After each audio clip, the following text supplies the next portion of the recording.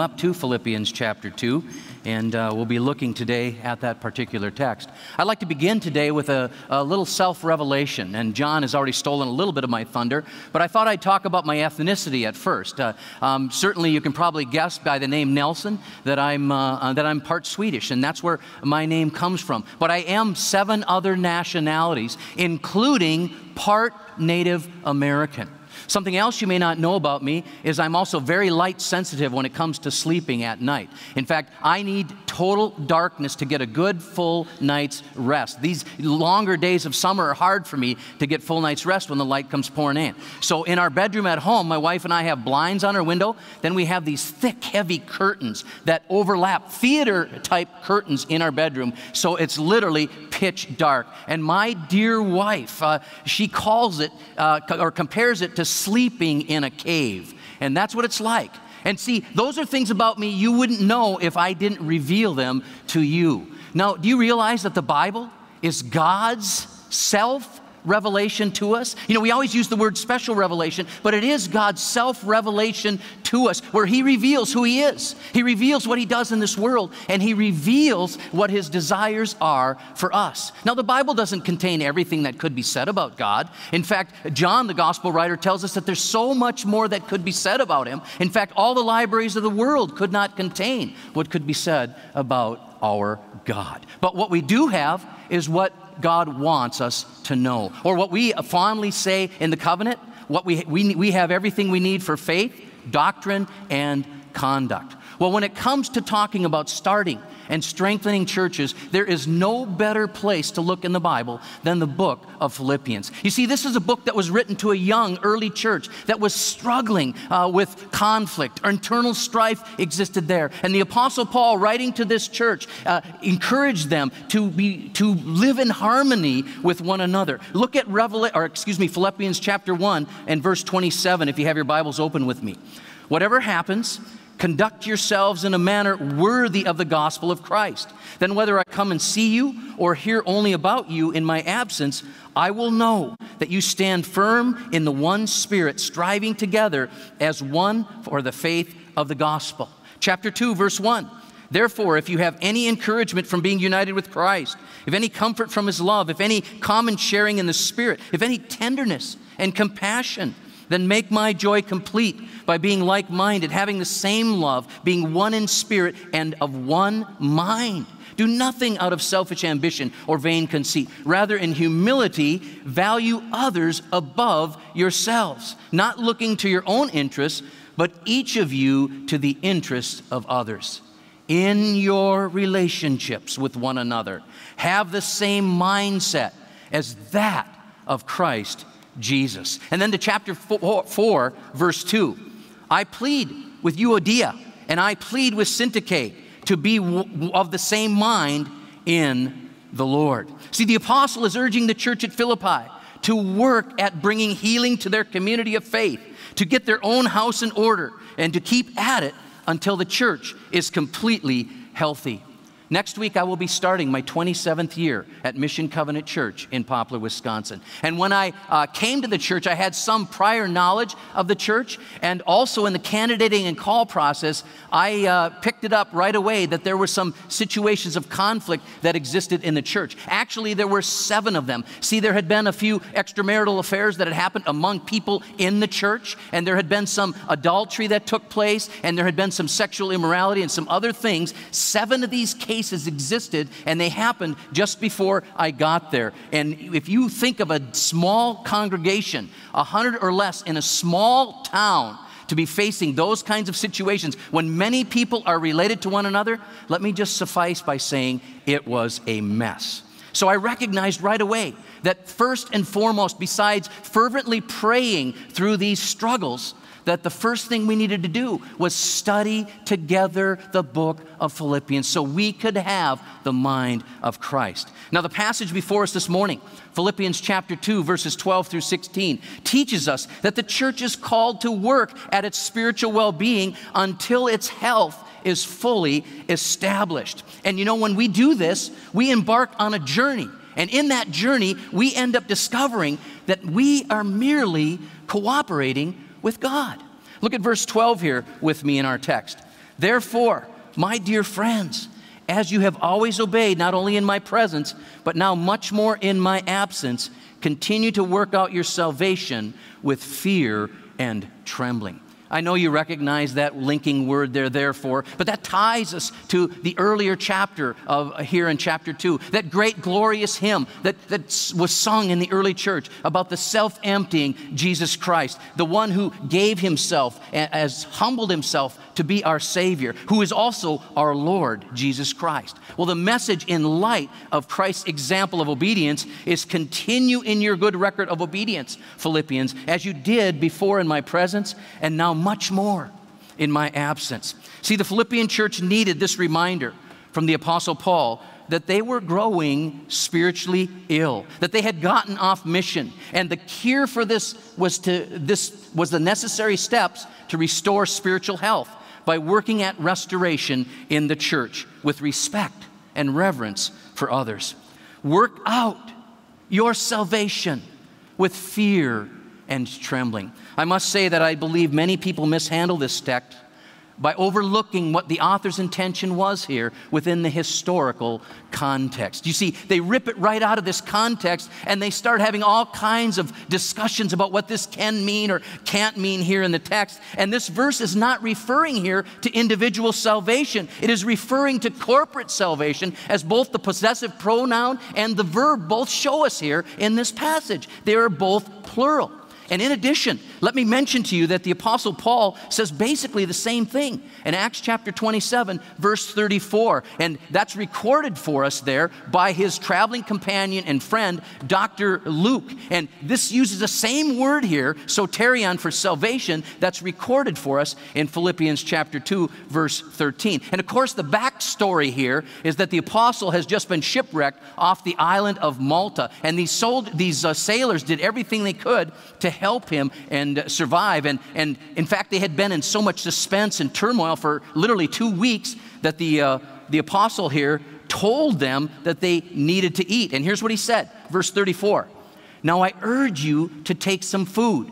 You need it to survive. There it is. That's that word. And what Paul is saying is you need this food for your own well being, to be saved in that sense, for your own deliverance, your own salvation. Yes, the word salvation, in most cases in the Bible, refers to the saving of one's soul, but not in every instance.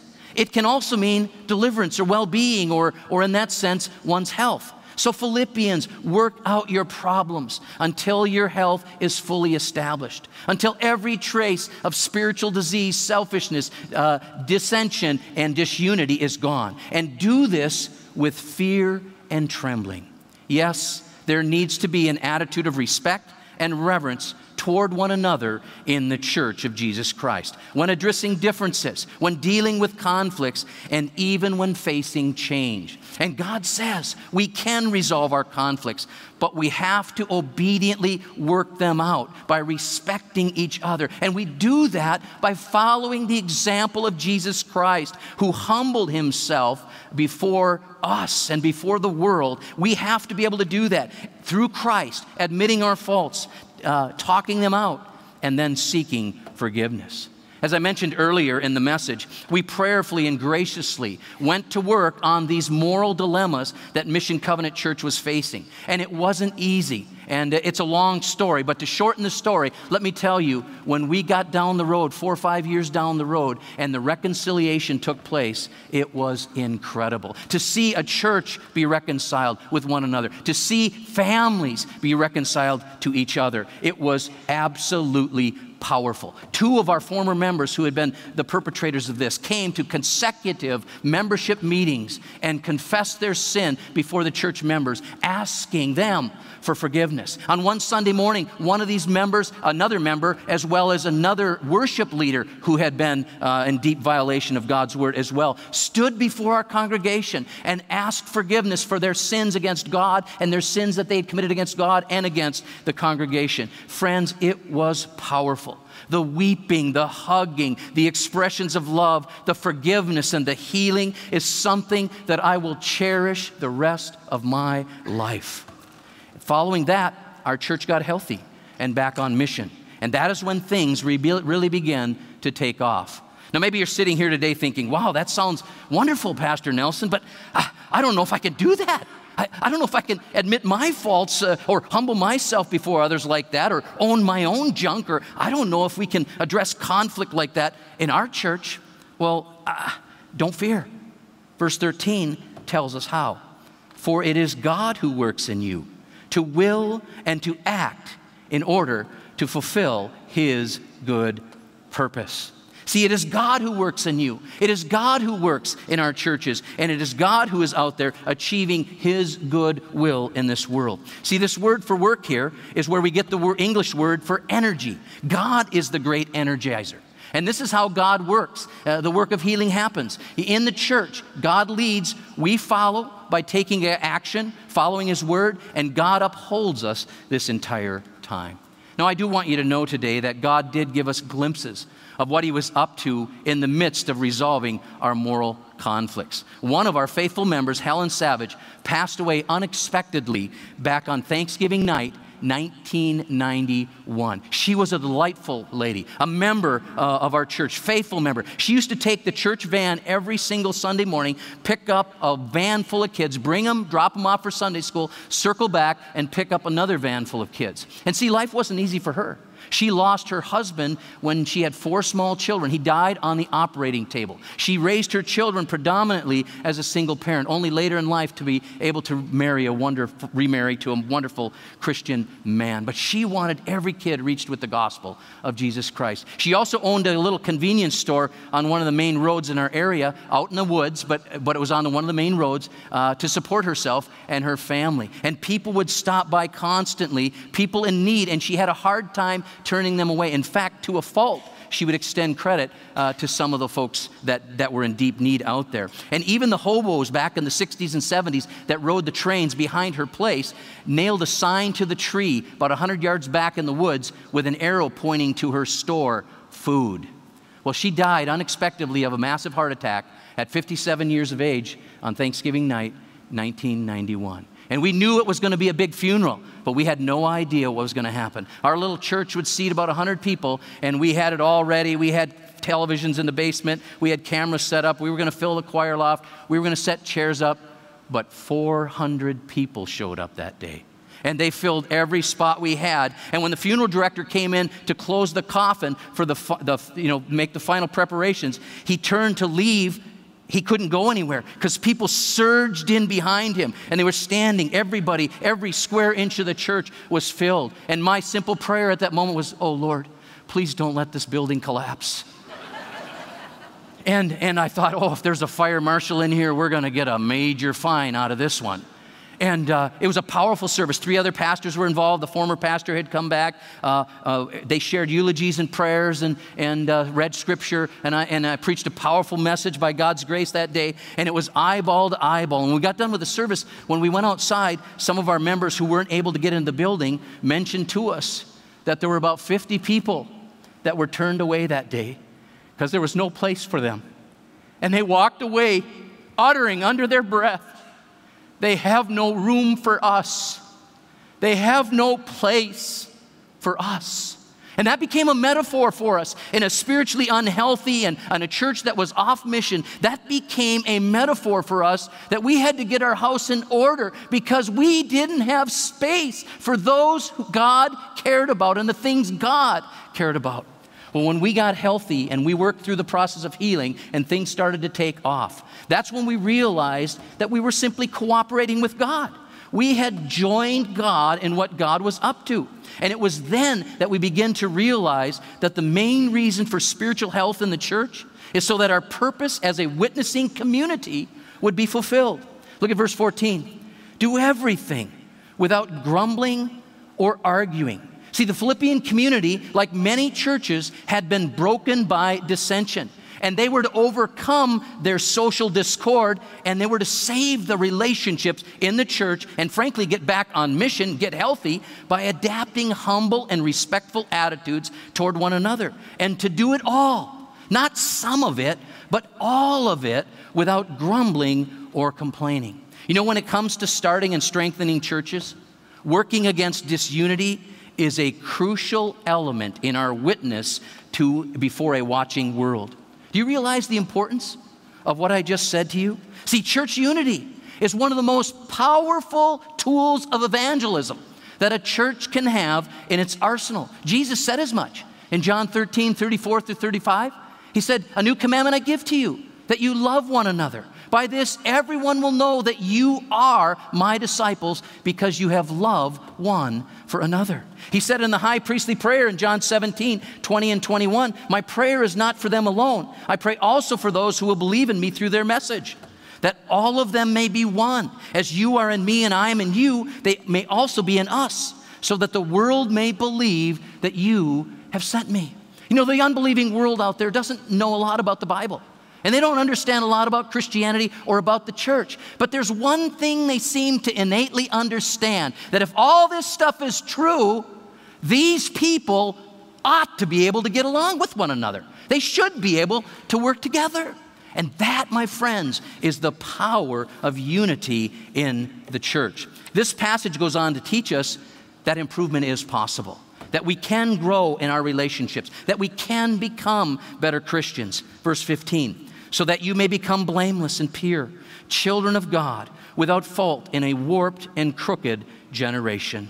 Then you will shine among them like stars in the sky. You see, by God's grace, it is possible to become better and better, to sin less and less, to not be a church that is easy for an unbelieving world to find fault in. And then it tells us we will shine like stars in the sky, or we will be the light of the world that God has called us to be. You know, it is true these are very challenging times for the church. The world is getting more and more perverse all the time. If time allowed, I could share with you some horrific accounts of abuse, exploitation, immorality, even violence that we have ex- experienced in our years in the ministry of the gospel at Mission Covenant. And there isn't much about human behavior that surprises me anymore. And the top of the list is the proliferation of drugs right now in our culture. Our largest high school in our county has gone to random drug testing for all those who participate in co curricular activities. If you're going to be in sports, if you're going to be in drama, anything that's after school, then you have to agree to sign a waiver to have random drug testing. And not just a urine test, but they can pluck a hair out and they can evaluate that because it shows that the drugs have been in your system much longer. Now, set aside whatever your, your preferences here are politically about you know, someone's invasion of their privacy or violation of private, private rights.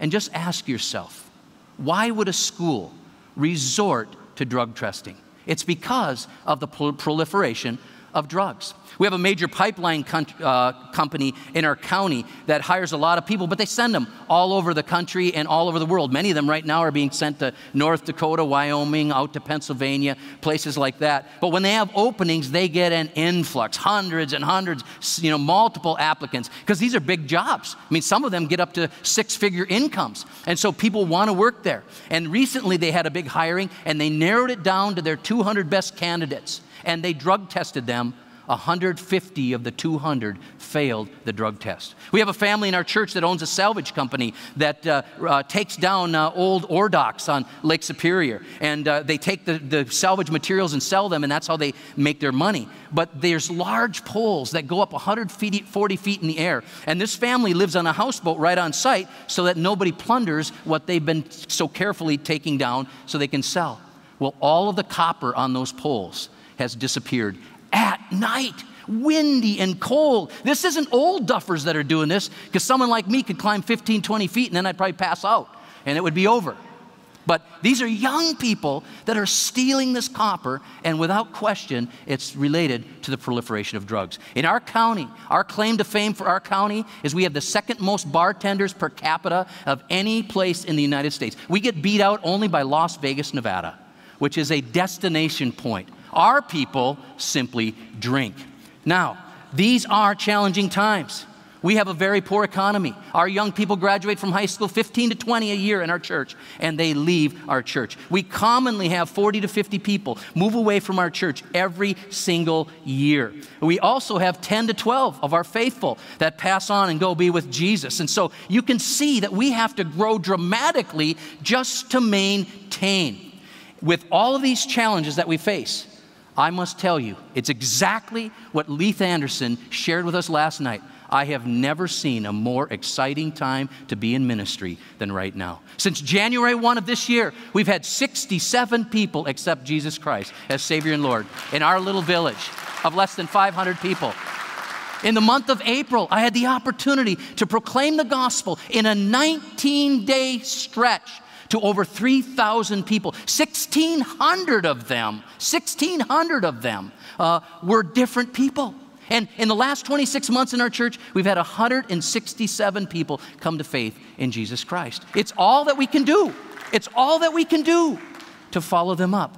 Now, let me share with you if you've picked up anything today, you've probably figured out this guy's pretty passionate about this stuff, starting and strengthening churches. And it's true, but I want to tell you why. See, I wasn't raised in a Christian home. I was brought up in a very impoverished home, a poor home. I lived in northern Minnesota with my family in a three room tar paper shack with no plumbing. And uh, it got worse from there because a few months before my sixth birthday, my father passed away. A virus attacked his heart. They couldn't do anything for him. That was before heart transplants. They shipped him to Rochester. There wasn't a thing they could do. He left behind a wife with a 26 year old wife with a 10th grade education, didn't have a driver's license, living out in the wilderness close to Canada, and, uh, and four small children, seven years of age and under. Well, it got worse from there. Three years later, my mom remarried.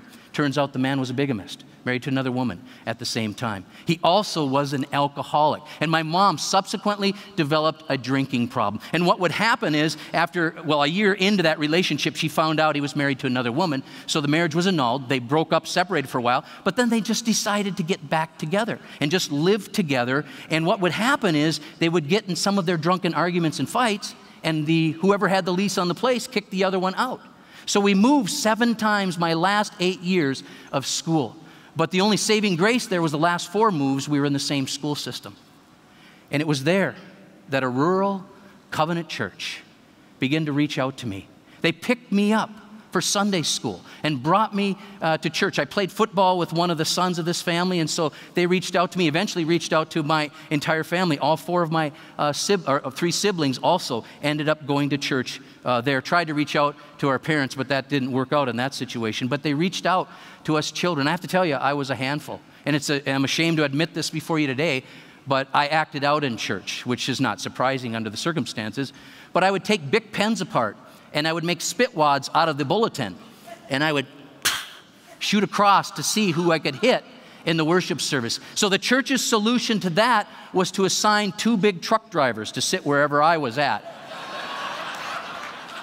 Giant hands from shifting gears. It's where I got my first anatomy lessons. I never knew what a trapezius muscle was until that hand would come over and squeeze or that's when I realized that the cranial cavity sounded pretty empty up there, where there would be click, click, click. But three and a half years later, I came to know Jesus Christ as Savior and Lord after hearing the gospel over and over in that church. But it didn't end there, see, because my senior year of high school, uh, my former stepdad and my mom decided to get remarried. He got divorced from the other gal, and it was a mess because she just caught him with another woman, but they still got together and uh, decided to get married, and none of us children would go. Does anyone here see why these two shall not be married? Do now confess it, or else herever forever hold your peace. See, it was a hard thing to do, but mom, mom asked out of love for her if we would go, and we went. Two weeks later, I came home from work, actually school, and I had to go to work. And um, I, from the time I was 13 years of age, I bought every stitch of clothes I ever wore. So I was always working on the side besides going to school. And uh, I came home, I needed to get to my shift at work, and my stepdad needed help on something. I couldn't help him. He was already pretty inebriated at that point. Came back four hours later, nobody was there, and uh, he picked an argument with me, kicked me out of the house. Now, you should know that he, at 16 and a half years of age, got kicked out of his house by a drunken stepfather as he was, was assaulting his handicapped, disabled sister, and he stepped in to try to protect his sister, he got kicked out of the house. So the cycle repeated itself. Well, here I was, $50 to my name, 18 years old, homeless, what do I do? Called a teacher from the high school and I stayed with him for a while, but that wasn't a long term solution. And he wasn't a Christian. He was a good man, but wasn't a Christian. I needed something more. And I thought of a young man in our church, our covenant church, who was active in the youth group and he was active in a ministry called Youth for Christ, mid 20s. And he lived in an apartment with, uh, with three other guys, all young guys starting out in their careers. What I didn't know was all of them were from covenant churches. They met in college at university and then, and then ended up uh, rooming together as they started out their lives together. They lived in a community 20 miles away. And I called him up, asked if there's any chance I could stay with him for a while. He said, Let me check with my roommates, but I'm sure it'll work out. And they said yes. There I was, like the parable of the Good Samaritan, laying by the side of the road. And they came along and said, We got to do something. We got to help this guy out. And the gentleman, his name was Greg, who took me in, uh, he gave up his bed. He took a mattress and he threw it on the floor in the living room. For one year, he lived like that. And they prayed with me every single day. They taught me the Bible every single day. They prayed with me. When I would be grieving or weeping, they would weep with me. If I needed something, they helped me out. If I needed to use a car, they let me use their car. Everything. It literally changed the entire trajectory of my life. And I, I want you to understand here today, please understand, when we're talking about starting churches and we're talking about strengthening churches, it's very personal to me, okay? It's very visceral. That's where the passion comes from. And I, you know, I stutter to think of where my life would be today if I had maintained in the generations of alcoholics that exist in my family and the dysfunction and the poverty and the pain and the suffering, all of that, compared to what I'm experiencing in Christ Jesus today. The lovely wife I get to be married to, you know, the wonderful children I'm blessed to have the, the church that I can minister in and, and, uh, and encourage. It's, it's remarkable. And, and I, I, I, I stutter to think of where my life would be today. And you know, now we have a son who's a covenant minister. A new cycle has started. All because people gathered together and agreed to do the work of the Lord. Let's pray. God our Father, we thank you so much this morning for your word. Your word is so powerful, and it speaks to us so clearly, God, about who you are, God, what you do in this world, and God, what your desires are for us. God, I don't know what everybody's experiencing that's come to this meeting today, but God, I know the beauty and the power of spiritual health. And I thank you so much for your grace that has been poured out in my life in my family, in the church that I now am privileged to pastor, and God, upon this, this denomination. Oh, I pray, God, as we're talking about starting and strengthening churches, that our tribe may increase. To your honor and glory, we pray in Jesus' name. Amen.